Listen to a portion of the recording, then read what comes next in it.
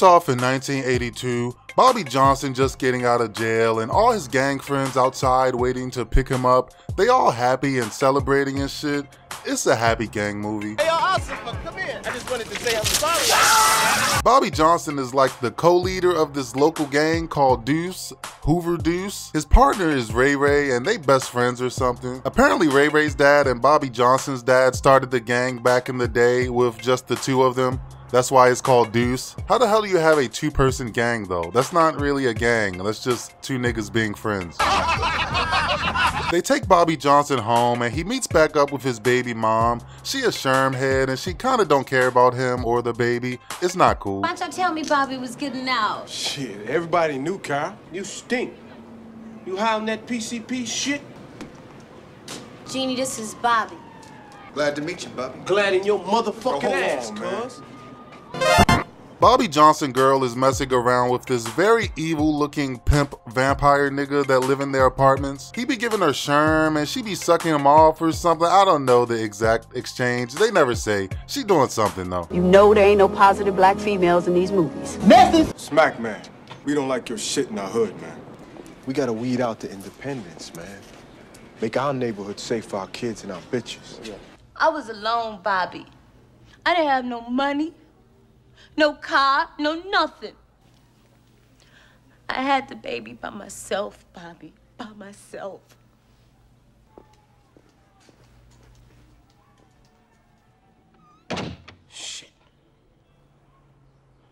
Bobby Johnson goes to a deuce meeting. His friend Ray Ray talks about how they about to take over and how they about to sell a bunch of crack to the community. Bobby Johnson kinda don't like it, but he don't say shit. Also, weird observation, none of these niggas have facial hair. Like the whole gang and shit. Is that like a requirement and shit? I mean, this is kind of a flashback. They supposed to be young and shit, so it makes sense. It's just weird to me. Like clearly this nigga Ray Ray is 38 years old. Now, in 1972, Deuce started out with two members.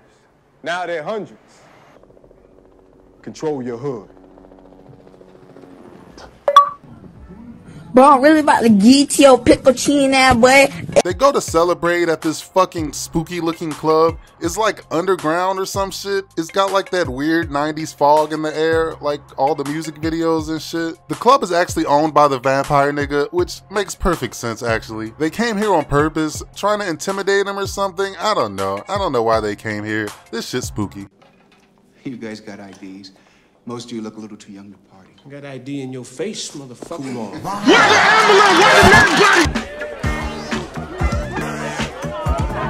Fat Man Scoop, Brooklyn Clan, Timberland, whatever I say, y'all gotta do.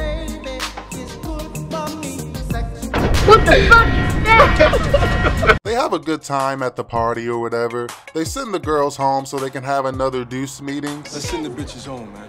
Send the bitches away, the bitches go play with somebody else. Now what the fuck is that supposed to mean? Come on, man.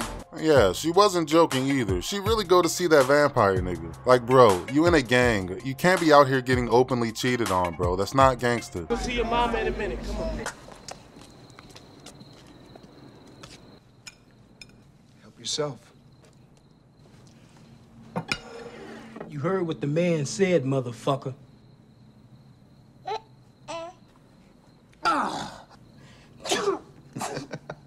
What is that? It's the big bad boy, Bobby. Smack. You don't fuck with me. You don't fuck with Genie Lamp. Do you understand me? You know, it's always over a fucking girl, bro. Niggas will kill each other over girls in real life. Like weak ass bitches too. They don't even be bad. Then again, this nigga Bobby Johnson probably got limited options himself. I mean, he in a gang, so that's a few cool points, but that's it. Like, this nigga don't be getting money. This nigga be fucking no hang time, motherfucking shovel face, flat face. Bobby Johnson and his crew go to get revenge on the vampire nigga pretty easily too. This nigga didn't get no extra security or nothing. He legit don't take these niggas seriously.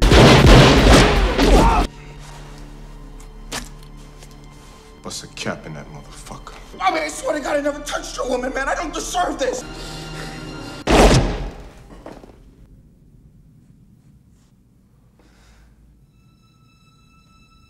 Um, why the fuck does everybody look so shocked? They came here to do exactly this, right? Like these niggas about to cry and shit. I mean, I think it's their first kill as a gang or something. I know it's Bobby Johnson's first kill at least. Still seems like melodrama though. These niggas recruited hundreds of people into a gang. You think they'd be more ready for gang shit? You OG now, man. Now you get your heart. Nobody. This deuce. Bobby Johnson's riding around with the homies. This homie named Bear, he that one nigga from Boys in the Hood. The other homie is like hyperactive or weird or something. He being weird. He doing like a fake Chris Tucker, Martin Lawrence, Brandon T. Jackson thing. It's pretty annoying. Damn! Look at that bitch! Damn, she a hustler? Be cool, Loco. Relax, Bobby, man. It's on you, fine ass bitch. Damn! They stop and holler at this prostitute who is obviously a cop. She not even doing a good job. She look regular as fuck. You supposed to make yourself look strung out or something a little bit, right? Why would this normal white lady be selling pussy in South Central? These niggas dumb, and also that's bad police work. You bad boys kill anybody? Hey, you know we down for that 187, baby. How much you trying to go for the kitty cat? Cause I got the rock. Say, mama, how much this party gonna cost? Nothing, baby. It's on the state. LAPD. Pull over. What the fuck? Chris Tucker Lawrence T. Jackson pulls out some crack and confesses to hella crimes, all within a few seconds. This is the easiest thing of all time. What the? This nigga trying to impress a prostitute? Come on, bro. Also, it probably sucks for this other fake prostitute. Everybody ignoring her and shit. Like, she over here trying to pose a little bit. Nobody give a fuck. I got your fingerprints all over that gun, Bobby. You want to talk to me now? The cops tell Bobby Johnson they got his fingerprints on that gun that killed the vampire nigga. Genie Lamp, this nigga named Genie Lamp, cuz. It's weird that these deuce niggas are smart enough to lure hundreds of people into their gang shit, but dumb enough to leave behind a weapon with fingerprints? Dumb enough to not wear gloves? Dumb enough to get caught by this obvious ass fake hooker? Like these niggas be having whole meetings and shit. Nobody ever said wear gloves? Look, you give me some names. Give them to me right now and I'll cut you a soft deal.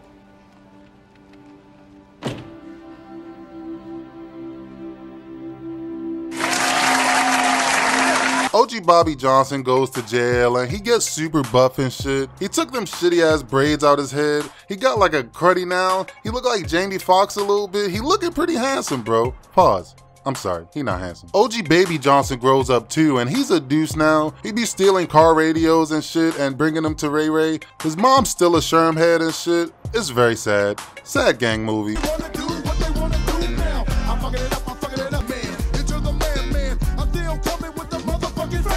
This nigga has a random patch in the back Oh of his God. shit. What is that for? I refuse to believe that shit ever looked cool. Nigga left one pixel of hair on the back of this kid neck. Who the fuck did that shit? Chris Tucker Lawrence T. Jackson ends up getting locked up too, and he getting harassed by some neo-Nazi guys. This brother is Hoover Deuce, motherfucker, straight like that. This punk owes my brothers in D Block eight boxes smoke. Fuck these homos. Aryans don't want nothing with the deuce. This punk owe us. You take him, Bastille. and Dead on you. You gonna owe Aryans ten bucks. Why is he talking like that? This nigga sound like he in a fucking school play or something. It sounds very unnatural. I noticed that shit with Ray Ray too. He'd be like, listen here, young player. It's time to jump you in on the set. Like these niggas are obviously acting. I mean, I know everybody's acting, but they like Shakespeare acting. Chris Tucker tells Bobby Johnson that Ray Ray took over the hood and is evil now or something. Ray Ray don't give a rap but about no hood. Hell, Ray Ray got your boy out there stealing stereo. What?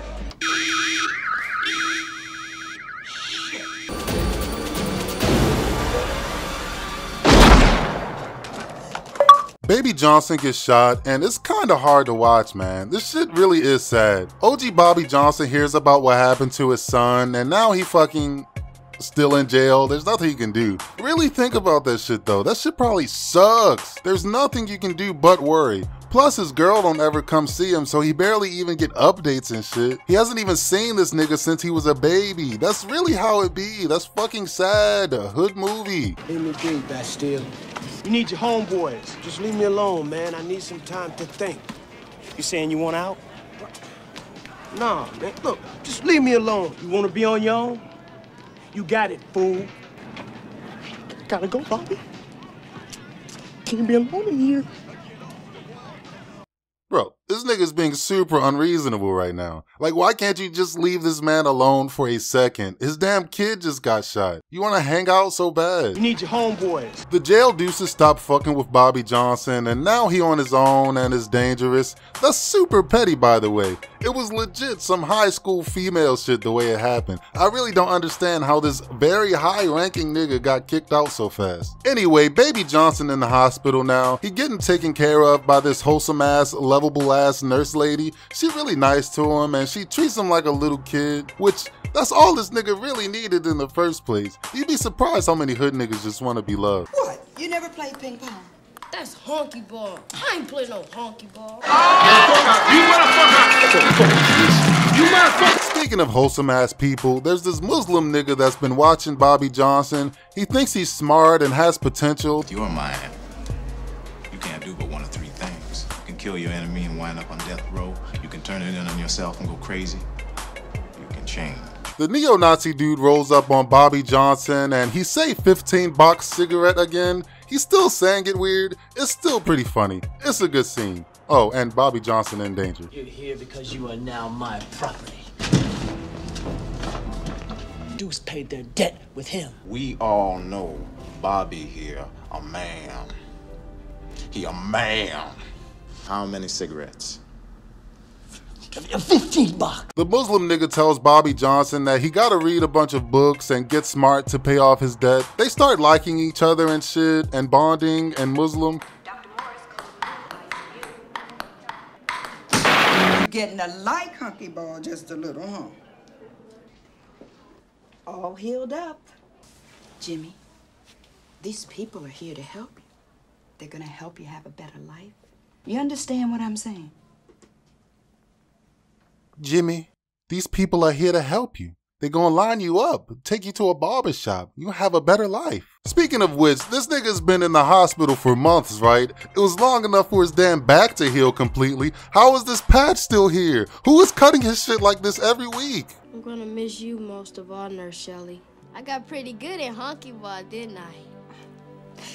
You sure did, honey.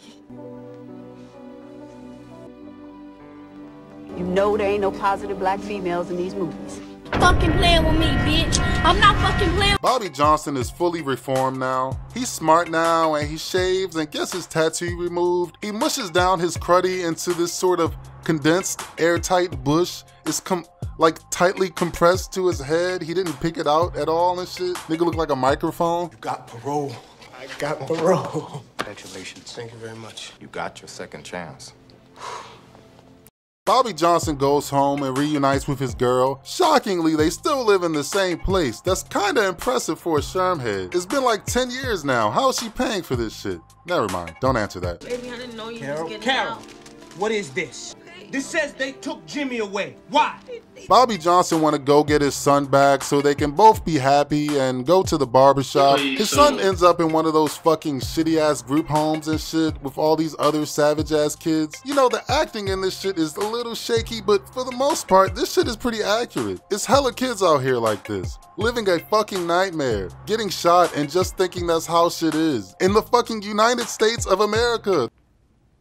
Keep it short. So what up? It's me, Jimmy. Bobby Johnson. It's your daddy. When I get out, we can ride down on that Buster Willie Manchester. We can do it tonight. Go find that nigga and spray his butt. Where your black heart at? I took it off. Oh my god. Baby Johnson upset because his dad turned to a hoe ass nigga. He ends up running away from the group home, and now Bobby Johnson gotta find him. Me and you guys know Jimmy Johnson? Who wants to know? I'm his daddy. You got an ID you can prove that? That ID in your face, motherfucker.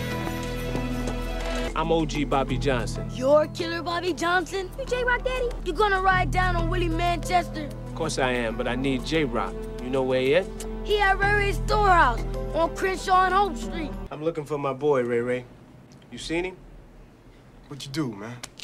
It's cool. Now the Deuce is 50,000 strong all across L.A. now, Bobby. I owe you, man. Jimmy, I ain't going back there. Deucin got me 10 years in prison, Jimmy.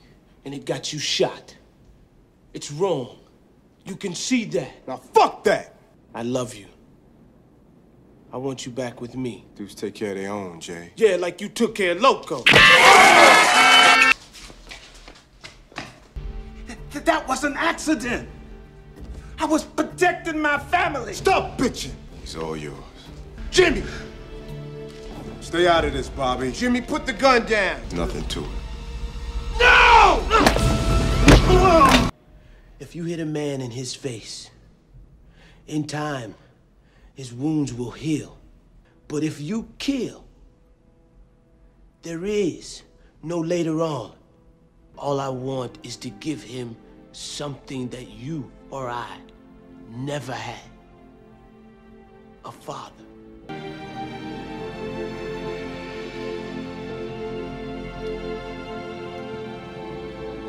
Ray Ray lets them go, and everybody happy now. It really is a happy hood movie.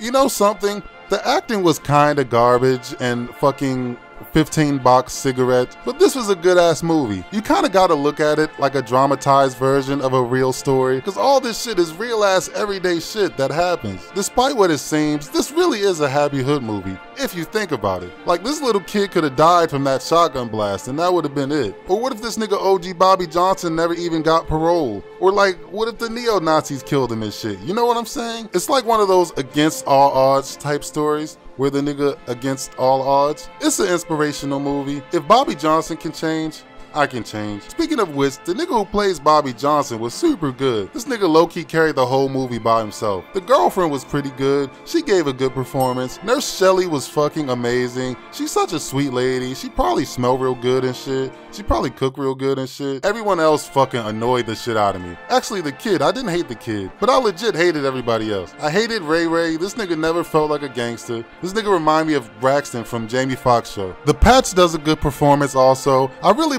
believed there was a real patch. There was times I legit forgot it was computer effects. It's not real. Nobody would do that to a kid. It's just special effects, y'all. Thanks for watching. Don't forget to subscribe and give me some money somehow. I want to be a YouTube for full time. I want to go to the strip club all the time. See you next time for all the hood stories. Rest in peace, Genie Lamp. Rest in peace, Ray Ray. This nigga ain't dead. Only one nigga died this whole movie?